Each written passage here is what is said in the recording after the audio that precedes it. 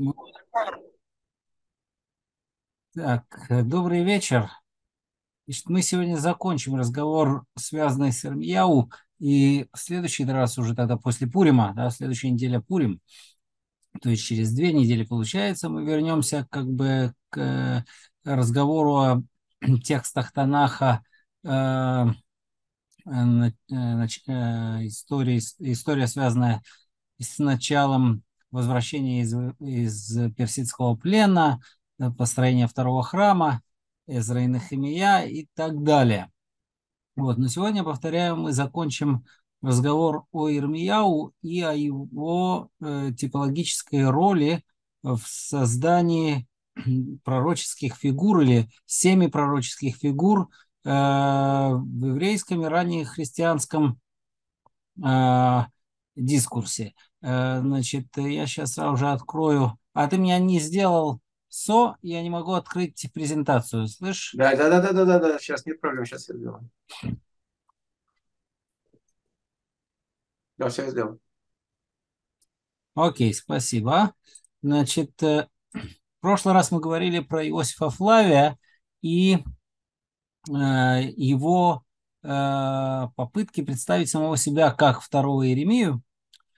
Значит, вот э, сегодня я начну с талмудической истории. Она на самом деле появляется в целом ряде источников, хотя ее принято приводить по Вавилонскому Талмуду, хотя версия Вавилонского Талмуда, судя по всему, самая поздняя, хотя тоже не факт, а зависит от того, как датировать текст э, Авод Дарабинатан. Есть те, кто датирует его даже постталмудическим временем. Во всяком случае, Мидраша и Хараба по времени, э, судя по всему, предшествует окончательной редакции Вавилонского Талмуда. Вот. Э, а история, она очень, э, история очень известная про то, как Рабан Йохан бен Закай появился перед Веспасианом. Это сразу же заставляет вспомнить то, о чем мы говорили по поводу Флавия, потому что это ровно, то же, ровно та же самая история. Она немножко иначе рассказана, как мы сейчас увидим, но история крайне похожая. Значит, история, так как она, э, э, значит, э, отличия между разными версиями есть.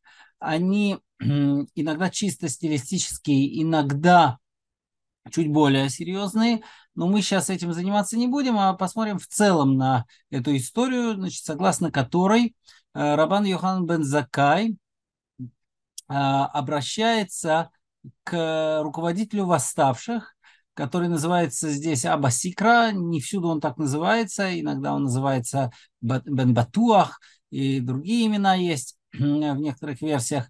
Вот, э, он его просит прийти к нему тайно.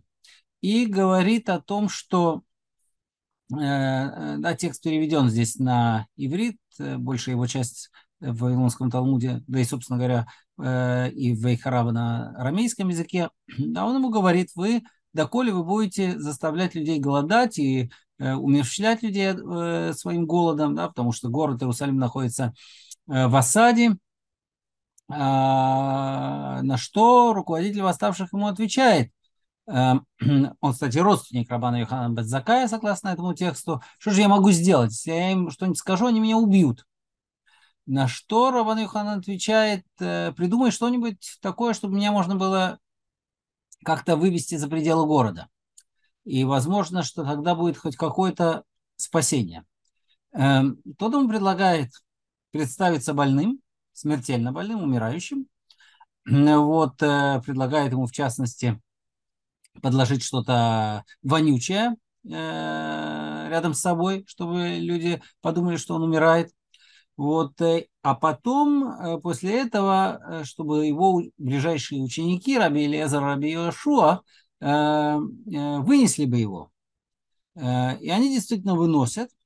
У входа в город, у, у выхода, у ворот их останавливают стражники и хотят проткнуть труп, проткнуть тело, да, дабы проверить, живой ли это или мертвый человек – из чего можно заключить, что это не первый такого рода случай, попытки э, сбежать из осажденного города.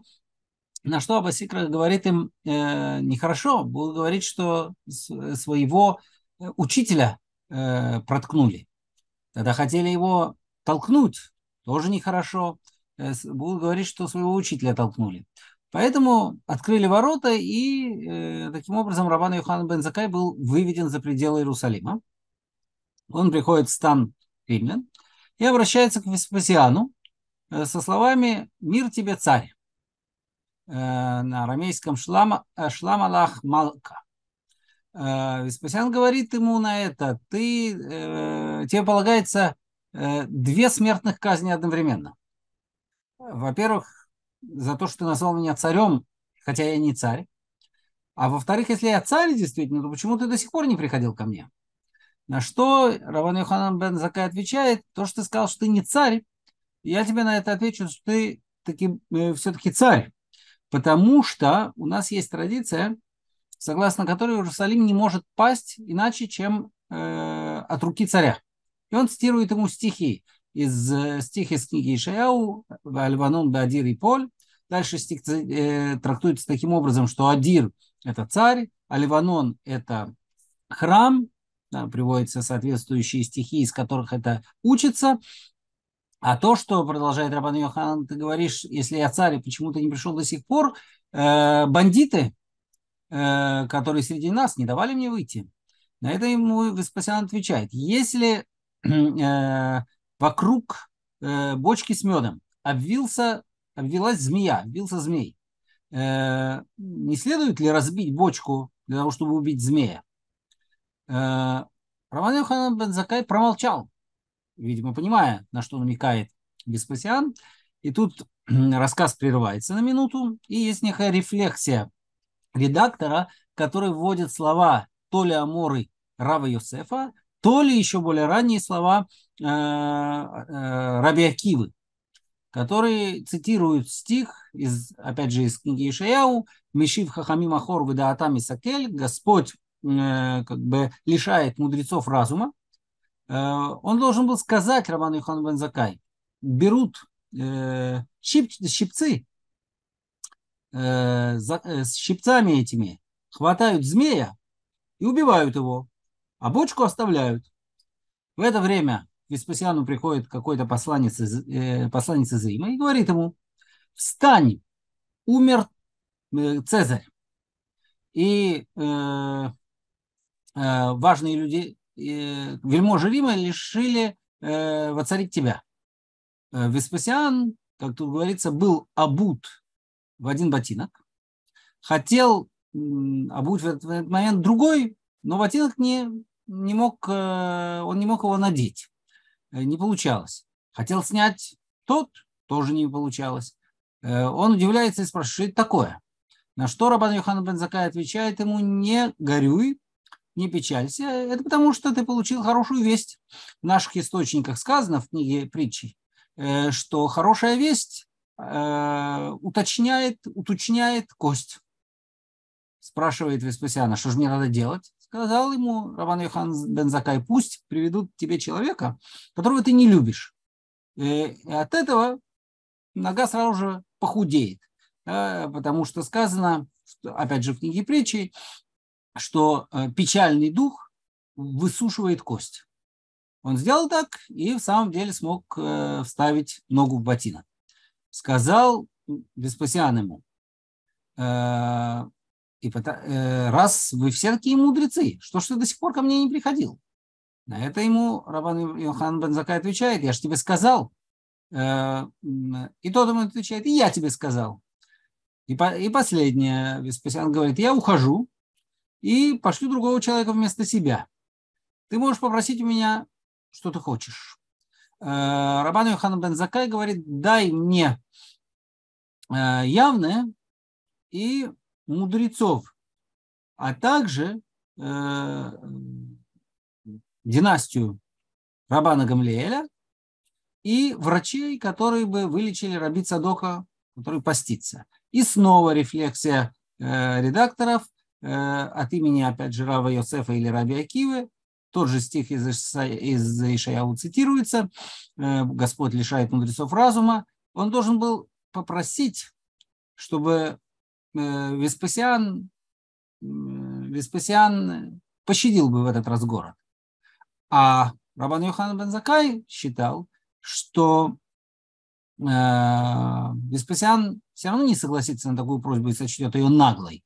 А так, по крайней мере, хоть какое-то малое спасение выйдет. Кстати, в одной из версий как раз говорится о том, что вначале Рабан Йохан бен Закай просил Веспасиана пощадить город. Там это именно так проговаривается. В версии Вавилонского Талмуда этого нет. Значит, прежде всего отметим, что, э, да, как бы сказать, позитив, позитивистская школа обычно ищет какое-то историческое зерно внутри рассказа, э, понимая, что в целом э, достаточно аисторичен, но всегда ищут какое-то историческое зерно, то есть, видимо, за этим что-то стоит. Стоит, действительно ли э, подобное событие имело место, малодоказуемое. Рассказ действительно абсолютно аисторичен. Начать с того, что Веспасиан никогда не был у стен Иерусалима, э, и весть о том, что его э, провозглашают Цезаря, пришла к нему Э, когда он из, из Галилеи выехал в Египет, там, собственно, его провозгласили э, императором.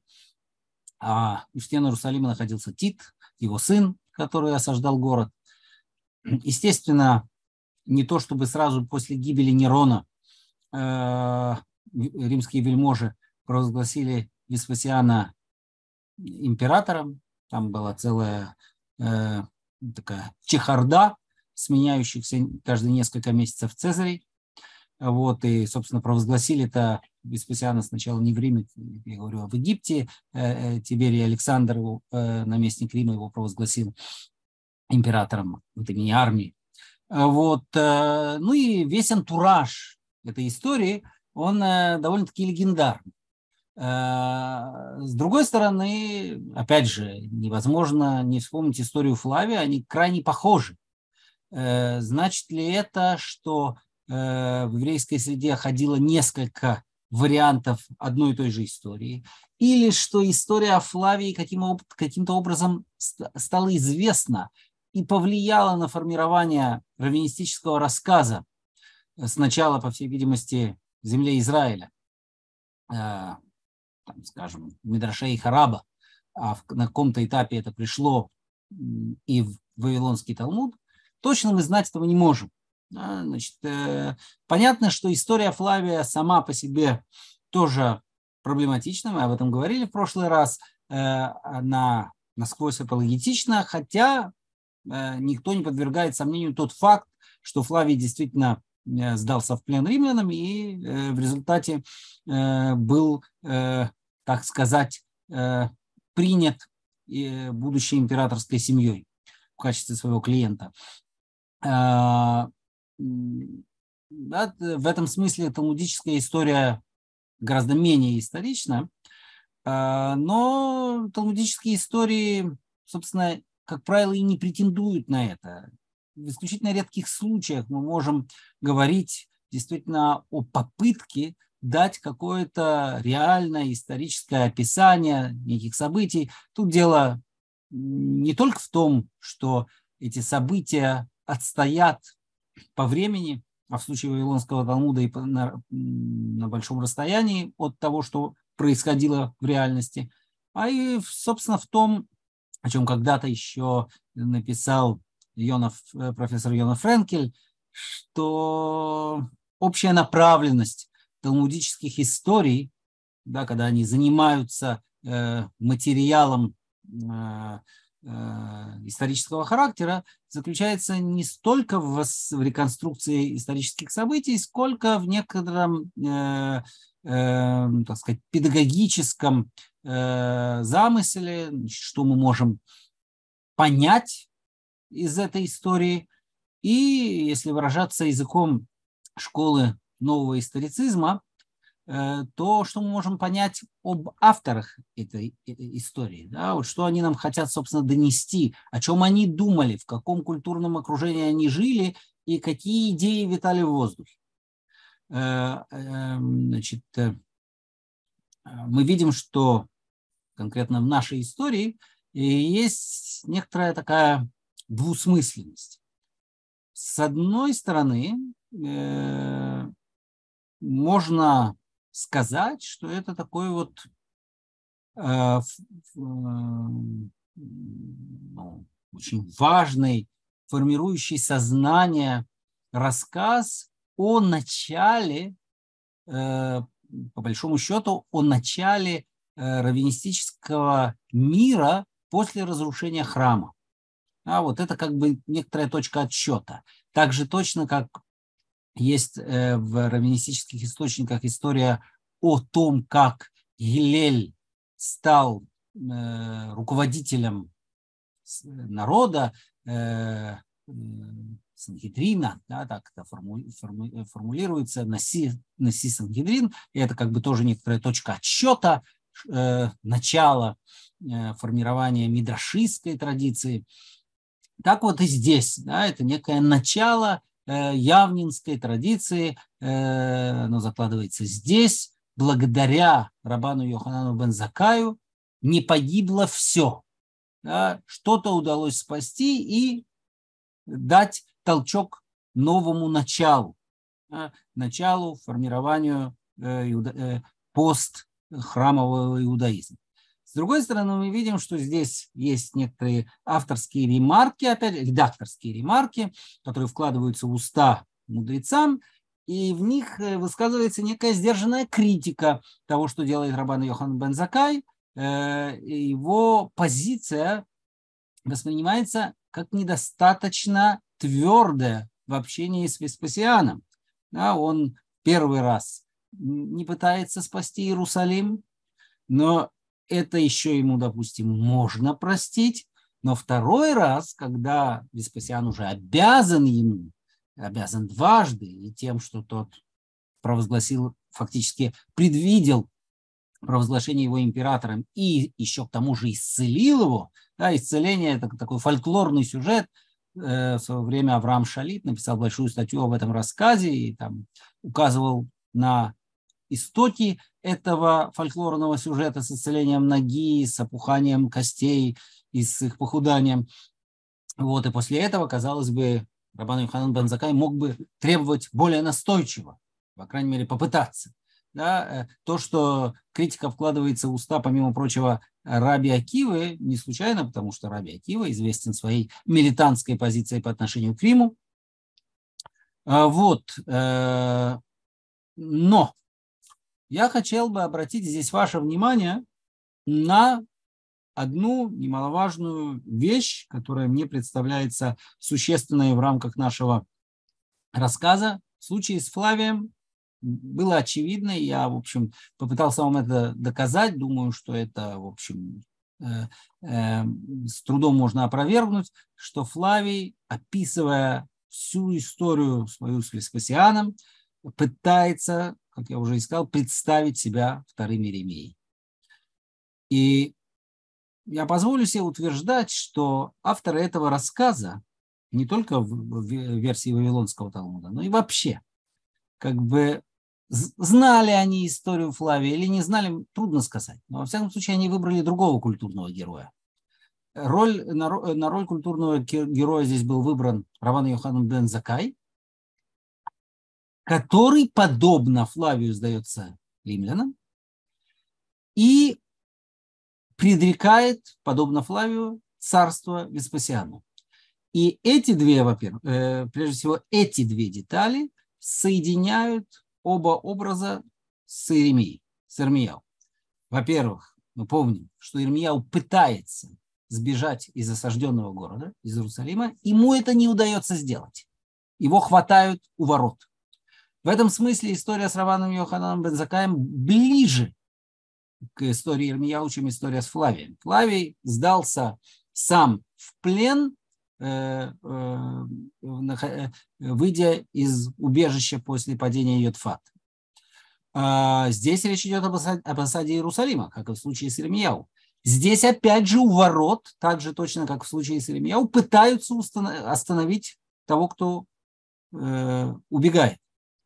В случае с Ирмияу это удается сделать, и его обвиняют, как мы помним, в государственной измене. Каздим Атануфель. Ты пытаешься предаться вавилонянам. Здесь то, что не удалось сделать Ирмияу, удалось сделать Рабану Йоханану Бензакаю. Ирмияу, помним мы, э, э, говорил о том, что Всевышний Господь отдал царство Навуходоносору. Ну, отдал царство Навуходоносору, э, отдал власть над миром. То же самое Флавий говорит по поводу Веспасиана. И практически то же самое э, в чуть более завуалированной форме проговаривается здесь. Только царь, э, поставленный Богом, может уничтожить Иерусалим. Для этого цитируются стихи. Да? Здесь как бы другая культура, культура Мидраша. Да? Э, Ирмияу просто объявляет о том, что Бог отдал мир во власть Навуходоносору. Флавий говорит нечто подобное о Веспасиане, э, Хазаль, мудрецы, э, для того, чтобы доказать это, им не дос... они не апеллируют, как правило, к высшим силам. Это воспринимается у них как дурной тон, когда это делает в известной истории э, Раби Илезер в трактате Баумиция. Это не нравится. Лоба шамаем она не на небесах. Тора Э, поэтому используются стихи, которые можно истолковать и понять соответствующим образом. Кроме того, мы помним, что Ермияу освобождает из-под стражи Навузарадан, э, э, начальник Навуходоносора по личному приказу царя. Флавия освобождает из-под стражи в результате Веспасиан. Опять-таки Рабана Йоханана Бадзакая Веспасиан тоже отпускает. Э, в случае с Иеремьяу Навузарадан спрашивает, хочет ли он пойти в Вавилон или остаться здесь. Ирмияу выбирает остаться в земле Израиля, и Навузарадан дарит ему подарки. А в случае с Флавием, опять-таки, Веспасиан и Тит дарят Э, ему, э, дарят ему подарки после того, что освобождают. В случае с Рабаном Йохананом Бензакаем Веспасиан сам спрашивает, что тебе дать. И надо отметить, как бы здесь э, такой важный момент э, для талмудического рассказчика. Рабан бен, э, Йоханан бен ничего не просит для себя. Он не просит дары для себя и не принимает дары для себя. Он просит для, для общего дела да, я прошу явные, я, э, и э, явно создать там как бы, э, центр мудрости, я прошу за династию Рабана Гамлиэля, тоже исторические отношения между Рабаном Йохананом Бензакаем и э, будущим Рабаном Гамлиэлем Явнинским были весьма, судя по всему, проблематичными. Э, а также прошу врачей, которые бы исцелили э, Раби Цадока, который болел, потому что постился. Да? Как бы мотив дара, он присутствует, только он здесь как бы облагораживается. Здесь есть еще одна деталь, которая, которая отсутствует в истории о Флавии естественным образом, зато она еще больше укрепляет сходство Рабана Йоханана Бензакая с Ирмияу. А именно вот весь этот его диалог с Абасикрой чрезвычайно напоминает диалог Ирмияу с царем Циткияу. Царь Циткияу э, тайно с ним встречается, да, это важный момент, тоже тайная встреча. Э, и э, опять-таки, подобно Абисикре, он высказывает страх перед тем, что он не может своим министрам сказать, там, допустим, что нужно сдаваться вавилонинам. Потому что тогда мне самому будет плохо.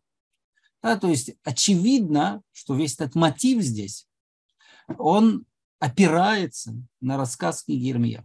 Э, если я подытоживаю этот момент, то я скажу так, что очевидно, что наш рассказчик, не говоря этого прямо, строит образ своего культурного героя Рабана Йоханана Бензакая как второго Ермияу, и это очень существенно, потому что, опять-таки, поведение Рабана Йоханана Бензакая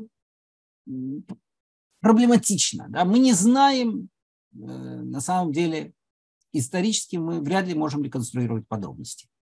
Да? Судя по всему, судя по всему, можно предположить, что Рабан Йоханан бен Закай был оставлен в живых после того, что был взят в плен римлянами и отправлен в Явны, о котором мы знаем, кстати говоря, что, судя по всему, это был своего рода такой лагерь для военнопленных, ну не совсем, да, это был город, его не отправили, короче говоря, в Лод.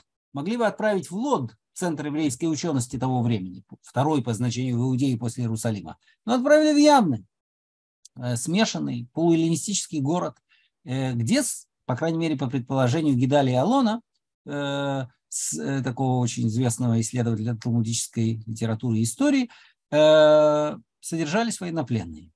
Да, значит, как бы поведение его может быть воспринято как проблематичное. В конце концов, мы знаем, что Флавия обвинили в государственной э, в измене общему делу после того, что он согласился сотрудничать с римлянами. Э, и вот наш рассказ, судя по всему, носит такой в целом апологетический характер, хотя между строк признает как бы вот эту проблематичность поведения Рабана Йохана Бензакая, но при этом последние это слова Ацала Пурта, да, малое спасение. Да, это малое спасение, которое принес Рабан Йоханан бен Закай, в результате выросло в спасение большое, да, благодаря ему. Э, как защитить Рабана Йоханана бен Закая от нападок в предательстве? Э, намекнуть на то, что он, у него был великий предшественник, который вел себя подобным образом. Пророк Ирмияу.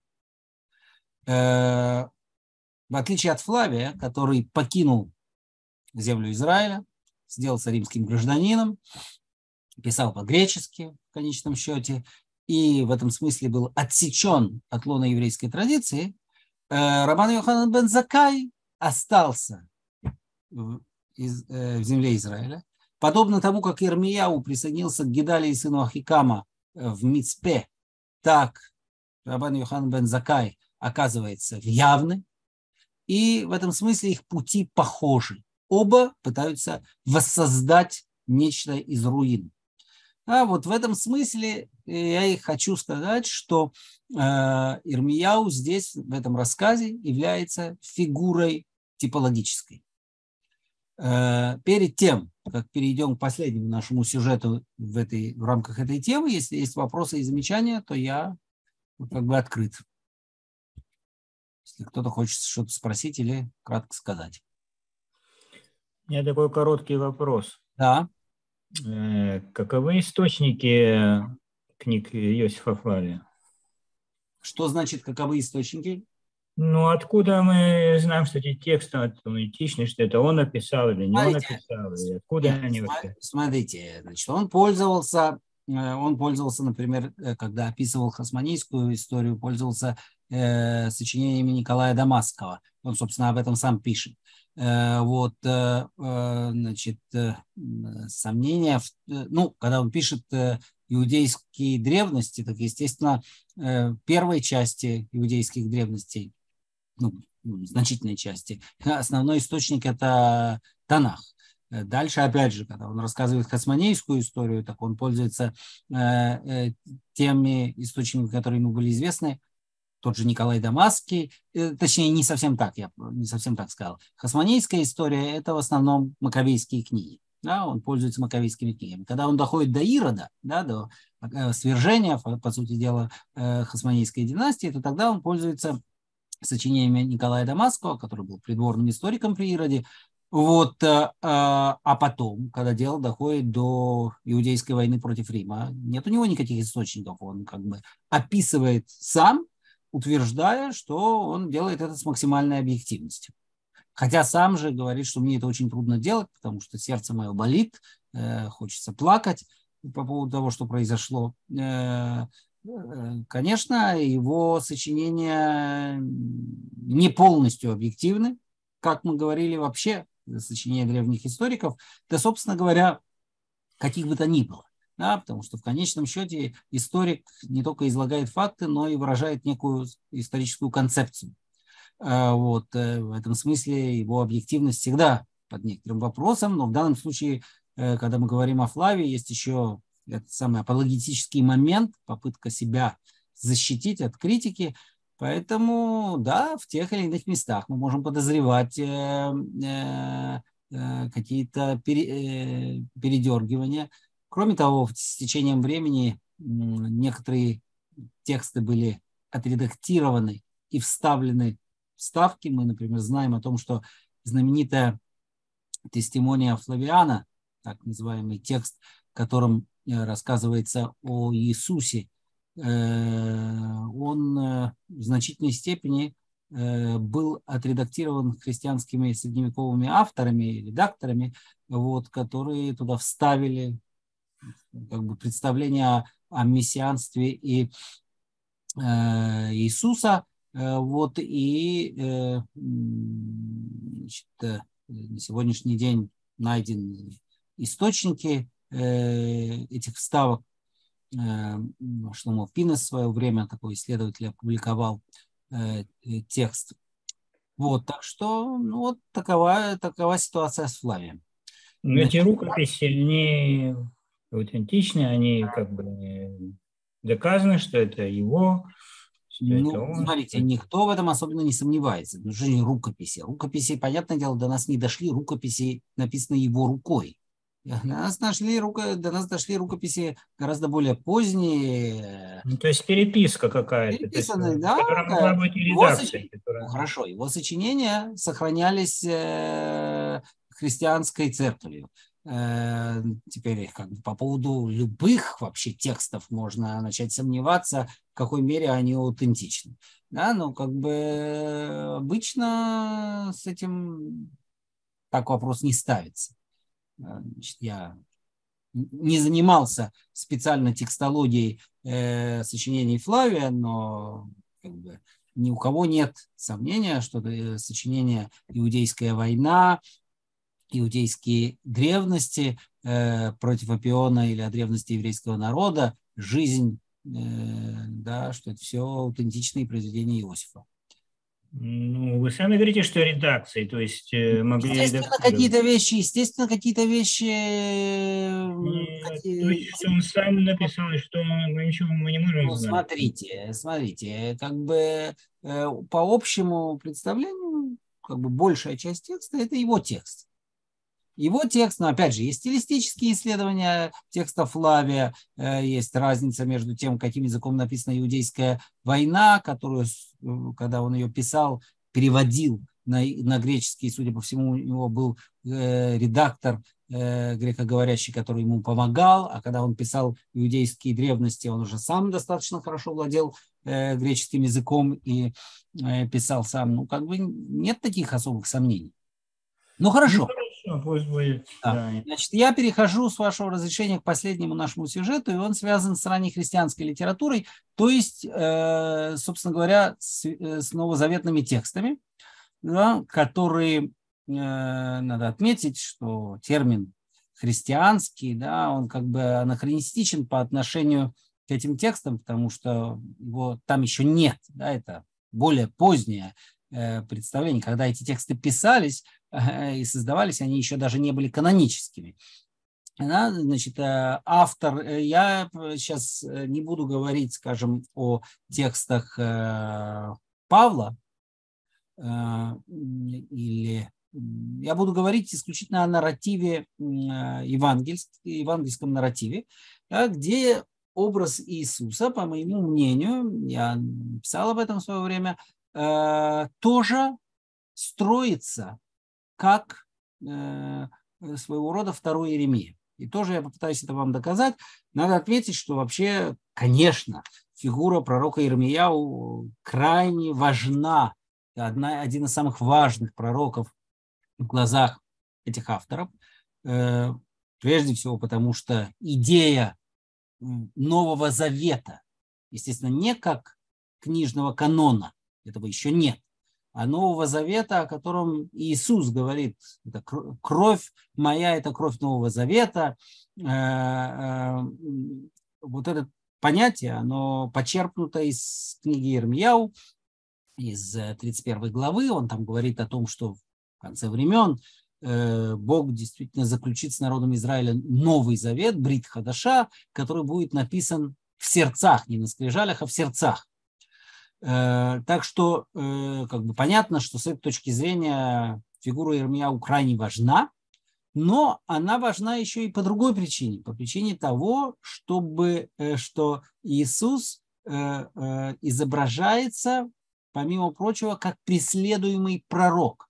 Пророк, преследуемый собственным народом, его руководителями. И это этот мотив, это мотив, конечно, центральный, как мы уже и говорили в книге Ирмияу. Теперь я приведу несколько примеров, да, мы, э, э, чтобы мы в этом убедились. А вот, например, есть знаменитый рассказ о изгнании э, продавцов из храма, из храмового двора. Иисус изгоняет этих продавцов и менял Э, значит, эта история приводится во всех евангельских текстах, но для нас интересна здесь именно история текстов э, синоптических Евангелий, то есть тех, которые более-менее сходным образом рассказывают истории. Это Марк, Матфей и Лука. Э, предполагается, я сейчас не буду вникать как бы Э, в новозаветное исследование. Предполагается, что Евангелие от Марка наиболее древнее, на нем основывается Матфей и Лука. Э, авторство, естественно, абсолютно псевдоэпиграфическое, это поздние заголовки. Кто писал эти э, тексты, нам точно неизвестно, но для нас сейчас это и не важно. В некоторых случаях предполагается, что, возможно, автором являлся еврей. Вот, но Э, когда он выгоняет этих самых продавцов и менял, то он произносит следующую фразу. Написано, э, дом мой наречется домом молитвы э, для всех народов, разных, разных версиях евангельских по-разному этот стих подается. Дом мой наречется домом молитвы, дом мой наречется домом молитвы для всех народов. И это цитата прямая из книги Ишаяу, из 56 э, главы, очень знаменитой. Э, ее читают, помимо прочего, как автору в посты. А, значит, э, а дальше очень интересная фраза. А вы превратили его, мой дом, в э, вертеп разбойников, или миарат парицим. Теперь вот это миарат парицим, а я не буду сейчас вникать в языковые моменты, да, понятно, что это перевод с греческого, э, я только скажу вам, что э, текст, на который здесь ставит, делается опора, текст Септуагинты, он отражает ровно то же самое выражение и э, на греческом. А это то, то же самое. Теперь этот текст вы превратили, мой дом, э, в вертеп разбойников. Это скрытая цитата из э, книги пророка Ермияу, из седьмой главы, где пророк, э, стоя во вратах храма, подобно Иисусу здесь, обличает своих соотечественников в разных преступлениях и говорит им, э, Хамеарат парицим хая байта зе ашер никраш миалав. Неужели стал мой этот дом, э, на котором наречено мое имя, э, стал вертепом разбойников? А в Септуагинте то же самое выражение по-гречески, что и Э, в евангельских текстах. Теперь смотрите, что получается. Получается следующая вещь. А, Иисус здесь цитирует как канонический текст книгу Ишаяву. Да, это как бы канонический текст. Ведь написано «Дом мой наречется домом молитвы». А дальше как будто бы сам произносит слова от своего имени, но вы превратили его в вертеп разбойников цитируя скрытым образом Ирмияу. То есть, по сути дела, он играет здесь роль пророка Ирмияу. Да, как будто Ирмияу процитировал стих из Исаи и отреагировал на него. Да, здесь вот делается такой вот литературный хитрый ход. Да, с одной стороны есть пророческий канон, и он цитируется как таковой, да, цитируется стих из Ишаяу, а с другой стороны от имени персонажа цитируются слова Ирмияу. То есть Ирмияу, по сути дела, оказывается здесь прототипом Иисуса. А, вот, собственно говоря, я привожу этот текст из Ирмияу. Вот он. А, ну и, но это, это как бы один пример. А, хочу обратить ваше внимание на то, что и другой пример а, есть. А, другой пример. А, сам по себе мотив ареста пророка и суда над ним, это опять же мотив, э, как бы здесь меньше таких вот конкретных параллелей, но сам по себе мотив ареста пророка и суда над ним, э, ареста пророка э, руководством собственного, руководством собственного народа и суд, который проводится руководством собственного народа над пророком. Это мотив который является центральным в э, библейской биографии Ирмияу. Мы об этом говорили. Да, вот в частности, например, 26 глава, где пророка хватают священники, э, Куаним, пророки, Навиим и весь народ и требуют для него смертной казни. Э, надо отметить, что и в случае ареста Иисуса, в случае ареста Иисуса, э, значит, э, главную роль играют опять-таки когены, э, священники. Они как бы стоят во главе суда над Иисусом. А, даже место суда похоже. Да, Ермияу судят э, во дворе храма, а Иисуса судят в Санхедрине, судя по всему, опять же, это как бы Э, находится на территории храма, как это следует из сказанного в Мишне, в трактате Медот. А, теперь любопытно, что и обвинение, которое э, выставляют пророку, похоже, э, но не одинаковое, но похожее. Ирмияу обвиняет в том, что он пророчествует о том, что, он разруш... что храм будет разрушен. В случае Иисуса его обвиняют в том, что он сам обещает разрушить храм и потом построить его снова. В обоих случаях требуют э, смертного приговора и для Ирмияу, и для Иисуса. Наконец, в обоих случаях э, э, обвиняемый подвергается избиению.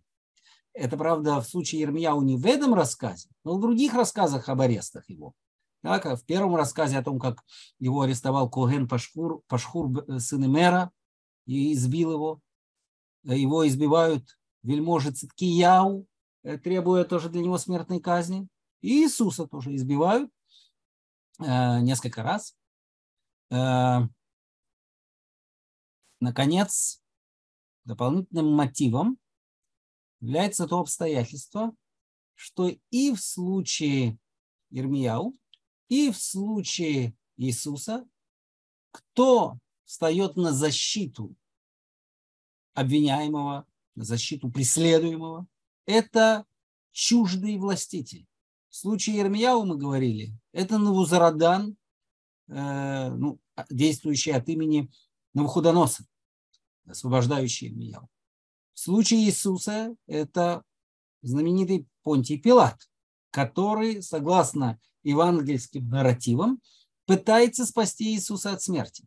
Правда, ему этого сделать не удается. Значит, обычно э, новозаветных исследованиях высказывается вполне здравая мысль, что это все носит явно апологетический характер с тем, чтобы представить ситуацию таким образом, что в смерти Иисуса виновато, виновато еврейское руководство и даже весь еврейский народ, а не римская власть. Хотя, как мы знаем, в реальности только римская власть могла э, осудить на смерть. А, но я думаю, что помимо этой здравой мысли есть еще один момент. Опять же, вот этот э, паттерн, Да, вот э, это следование, следование литературному э, образу преследуемого пророка, начинающегося с Ирмияу, которого освобожда... Э, пытается освободить чуждый властитель. Таким образом подчеркивается то обстоятельство, на которое, кстати, евангельский нарратив несколько раз намекает, говоря, что нет пророка в своем отечестве, что вот свои преследуют, а кто же спасает, как раз-таки чужие. Мы читали у Флавия историю про Иошуа, сына Ханании, где, опять-таки, э, римский представитель Альбин э, освободил этого Иешуа, сына Ханания, из-под стражи. Любопытно, что имена те же самые, да, на это обращалось внимание в исследованиях. И, Иисус, Иешуа. А, еще один момент, на который я хочу ваше э, внимание обратить, это мотив пролития невинной крови. Ирмияу, когда его судят, он, помимо прочего, э, говорит такую вещь, что если вы меня осудите на смерть, вы прольете невинную кровь. Да? Дамнаки. Айма, э, э, айма атон.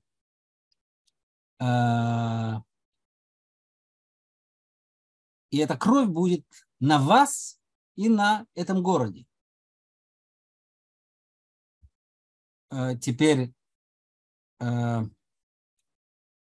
любопытно, что это же выражение появляется все в той же проповеди э, пророка в седьмой главе, где речь шла о вертепе разбойников, и он там убеждал своих, как бы убеждал своих соотечественников, не проливайте невинную кровь дамнаки, то же самое выражение в Септуагинте, в этом месте.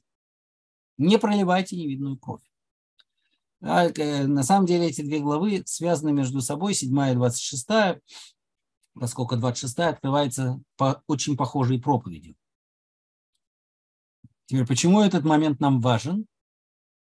Этот момент нам важен, потому что в Евангелии по Матфею тоже есть мотив пролития невинной крови. Э, он появляется несколько раз и как бы очень назойливо звучит. Прежде всего э, в истории с Иудой Искариотом. Э, он сам говорит, что он пролил невинную кровь.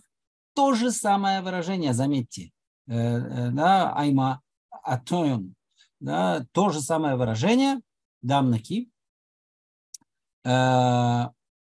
И что еще более любопытно, что в этой связи цитируется стих, который на самом деле принадлежит Захарии, пророку Захарии. Вот он, этот стих здесь. Э, и возьмут 30 серебряников и так далее.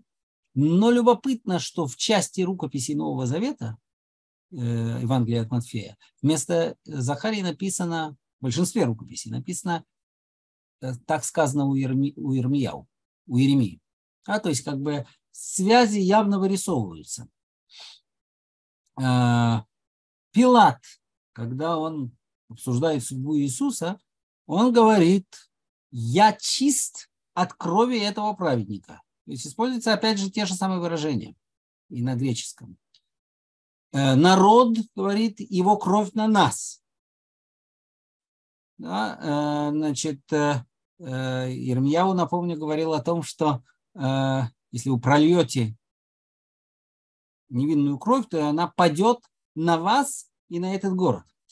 И опять же, э, как бы общее, как бы со времен Давида Флюсера, такого исследователя, очень крупного, в частности, исследователя новозаветных текстов, как бы общая здравая мысль состоит в том, что вот этот кусок, где народ говорит кровь его на нас и на наших детях, ну, сам Флюсер считает, что это как бы более поздняя вставка э, в нарратив, которая уже очевидно носит такое как бы начало э, такого э, христианского антисемитизма. Он датирует его более поздним временем, чем первый век, когда эти тексты писались, создавались. Но возможно, повторяю, что сам по себе мотив этой невинной крови в Евангелии от Матфея связан с, э, как раз-таки с э, опять же, с тем же нарративом об Ирмияу, где этот мотив невинной крови тоже звучит. Э, значит, наконец, да, перед тем, как, собственно говоря, завершить этот наш разговор, я хочу показать вам, что на самом-то деле есть одно место, по крайней мере, опять же, в Евангелии от Матфея, где напрямую Иисус сравнивается с пророком Ирмияу. Это место, у которого есть параллели и у Марка, и у Луки. И там говорится следующее, что когда э, Иисус пришел в Кейсарию, он спросил своих учеников, что обо мне говорят люди, кто есть Сын Человеческий. Да, вообще говоря, само выражение «бен Хаадам» почерпнуто с одной стороны из книги пророка Ихискеля, с другой стороны появляется в книге Даниэля, но для нас сейчас важно другое. Ответ. Ответ такой.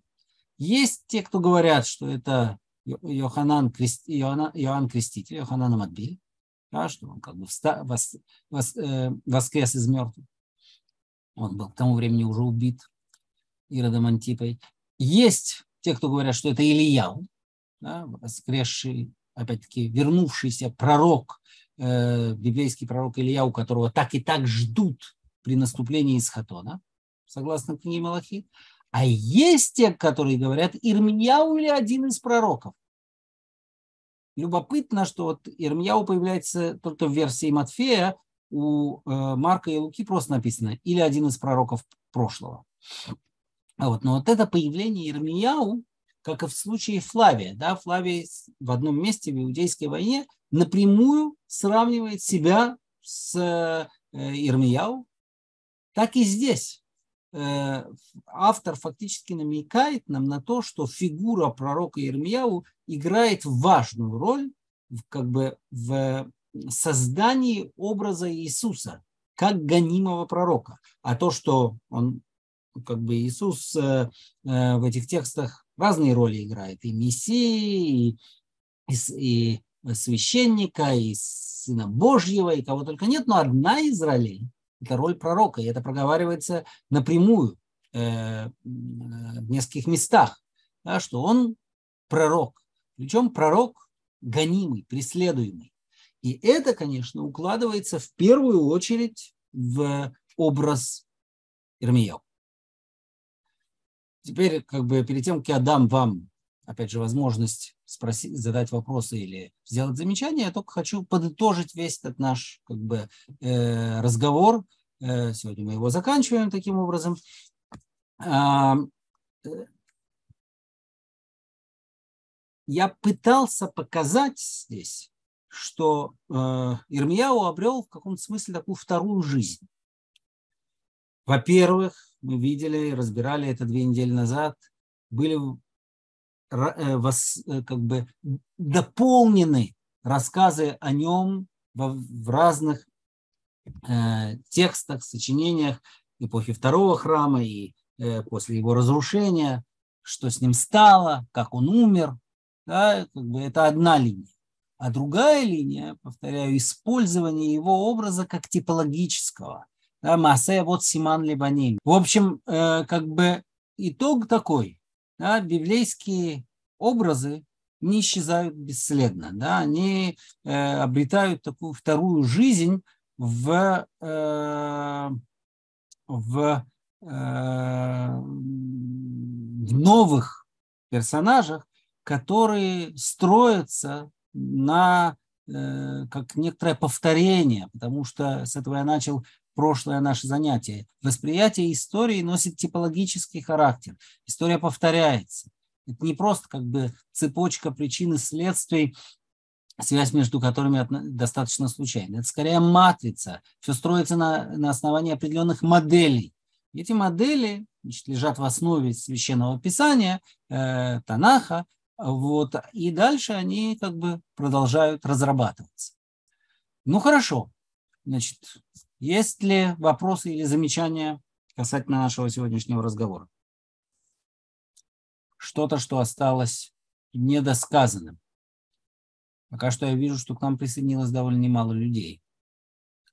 А, Кто-то что-то еще хочет спросить, узнать?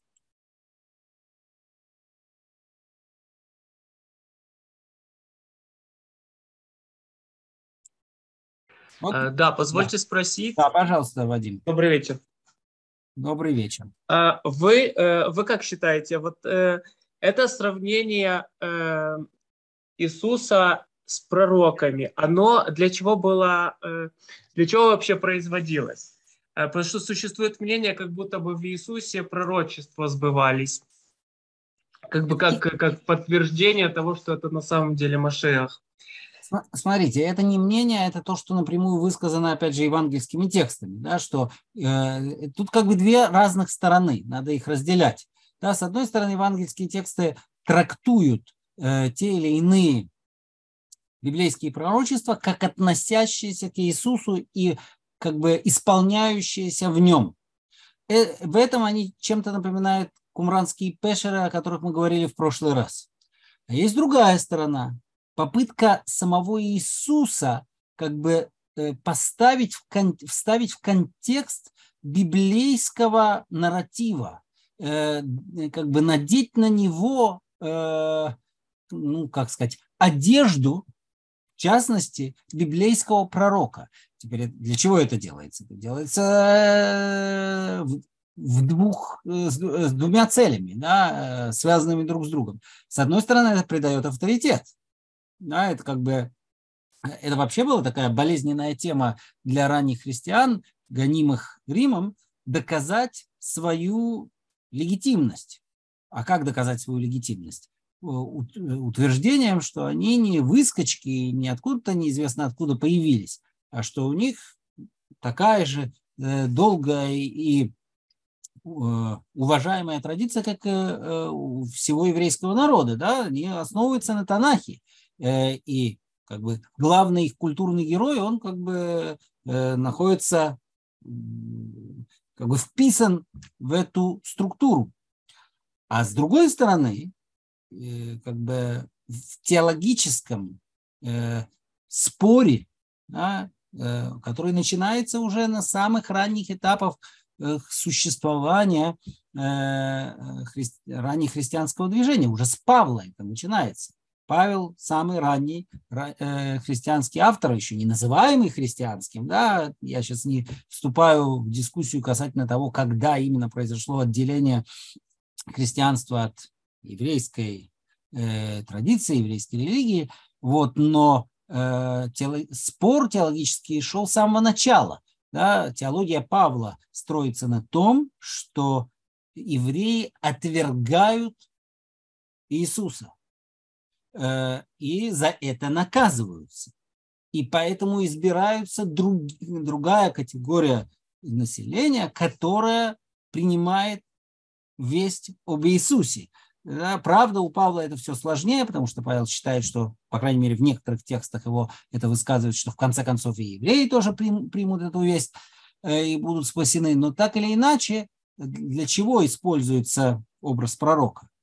С, с этими полемическими целями, потому что если Иисус – это преследуемый пророк, и, и судьба его подобна судьбе преследуемого пророка, то как бы понятно, что происходит, да, потому что вот Ирмияу, преследуемый пророк, его отвергло, отверг собственный народ, не хотел его слушать, э, руководство э, народа, царь, вельможи, э, Куаним, священники пытались его казнить, вот, пожалуйста, повторяется та же самая история. Э, в случае с Ирмияу был разрушен первый храм, да, как бы он говорил о разрушении первого храма, это произошло, потому что не послушали его голоса. А в случае Иисуса разрушается второй храм, опять же, потому что не послушали его голоса. И вот эта смычка, естественно, идея э, Нового Завета, Нового Союза, Брит Хадаша. Вот, э, я думаю, в этом тут дело.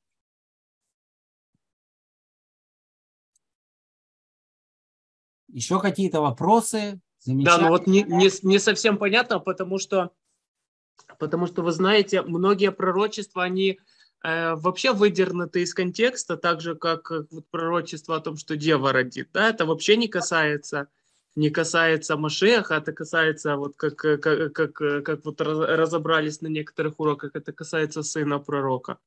Смотрите, э, смотрите, э, то, что пророчество, э, они, как бы это обвинение в том, что пророчество выводится из своего непосредственного контекста, это, как бы сказать, обвинение немножко слабое. Да? Почему?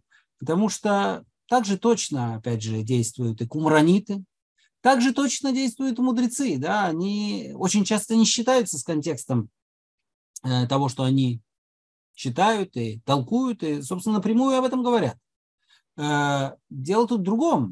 Да? Значит, как бы это все э, происходит еще и, повторяю, в рамках полемики за избранность в случае со стихом, который вы упомянули, проблема скорее даже не в том, кто родится, а кто не родится, а в понимании слова, э, э, слова «партенос» греческого, которое э, вообще говоря, вообще говоря, может обозначать девственницу и обозначает обычно девственницу, но оно является переводом слова на иврите, которое Э, может быть как девственницей, так и нет. Вот это слово «альма», э, оно там, в истории с, со сватовством Ицхака и Ривки, да, этим словом партенус переведено слово, переведено слово альма, и там это действительно девственница.